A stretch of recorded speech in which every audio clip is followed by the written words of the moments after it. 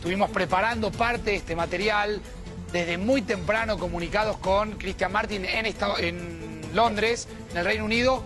Flor, porque empieza a haber noticias, empiezan a llegar noticias muy importantes respecto al tema de las vacunas. Hay una luz al final del túnel, podemos decir, con la vacuna que se estaba desarrollando en la Universidad de Oxford junto con el laboratorio AstraZeneca.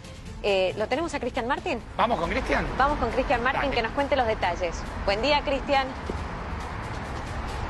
Hola, Facundo, hola, Flor. Pasada las tres y media de la tarde acá en el Reino Unido, un día bárbaro, histórico.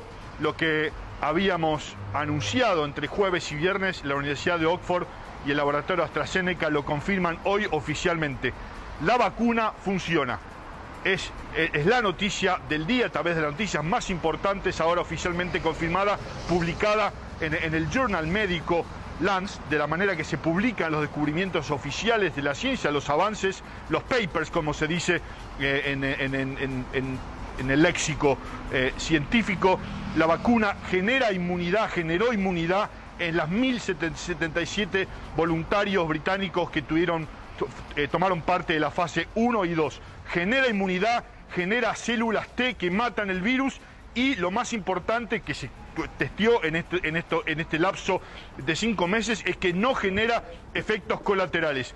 ¿Qué, ¿Cuál es el siguiente paso ahora que se, se certifica que la vacuna es segura y que funciona? Es probar la potencia. ¿Qué tan fuerte es la vacuna? Lo que habíamos anticipado entre jueves y viernes. ¿Cómo? Con los Challenge Trials. ¿Qué son los Challenge Trials? Es exponer a jóvenes, entendemos en principio, de entre 20 y 30 años, con riesgo de muerte muy bajo. Recordemos, 9 de cada 10 muertos en, este, en, esta, en esta pesadilla son gente mayor, por lo tanto jóvenes tendrían un riesgo muy bajo a ser expuestos a alta dosis de la vacuna, con su momento fueron expuestos los monos, Resus macaco con resultados positivos para probar qué tan fuerte funciona. AstraZeneca, escuchen este nombre porque de ahora en más va a ser o es fundamental en em, la producción, que ya están produciendo en India, pero en la distribución a nivel mundial. El laboratorio AstraZeneca, con base en Cambridge, irónicamente, em, ya dice que la vacuna va a ser accesible, que no lo van a hacer por ganancia y ya tienen un acuerdo con el laboratorio de Oxford para producir ¿eh?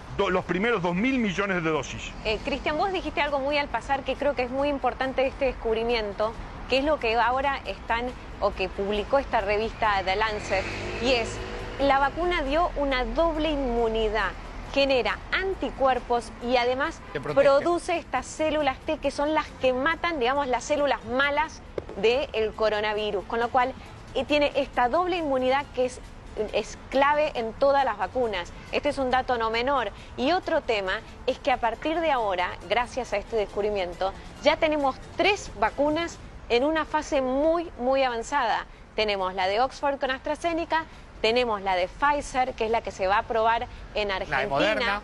Y tenemos la de Moderna, que es la que se está desarrollando en Estados Unidos. Y recordemos, Flor, me parece que acá... En un nivel, ya están todas en la misma fase, digamos, Oxford no pica punta, ¿no crees que pican punta? Porque me parece que... Cuando, una vez que si nosotros certificamos que la vacuna funciona, la política de distribución está más o menos determinada. Falta arreglar detalles el gobierno de Estados Unidos ya aportó mil millones de dólares a AstraZeneca para asegurarse los primeros 300 millones de dosis. El gobierno británico, 100 millones de dosis. El consorcio Alemania, Francia, Holanda e Italia, 400 millones de dosis. Y acá hay dos grupos que han tomado un compromiso en la cumbre mundial de la vacuna. El grupo Gavi, GAV corta I, que tiene 300 millones de dosis, y eh, el grupo...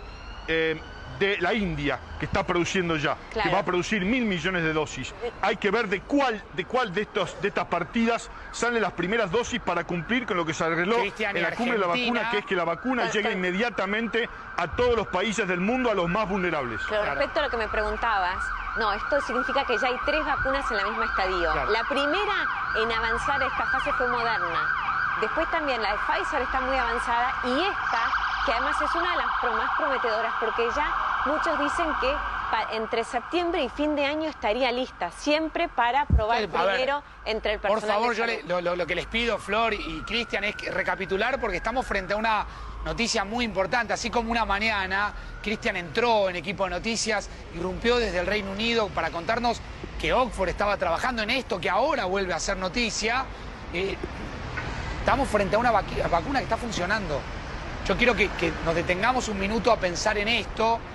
Cristian eh, nos viene contando paso a paso cómo se está trabajando allí en el Reino Unido. Hay que decir una cosa, fue el primero, en contar cómo venía esto, incluso fue el primero, creo que fue allá por abril, mayo, en decir, si todo va bien para septiembre estaría lista.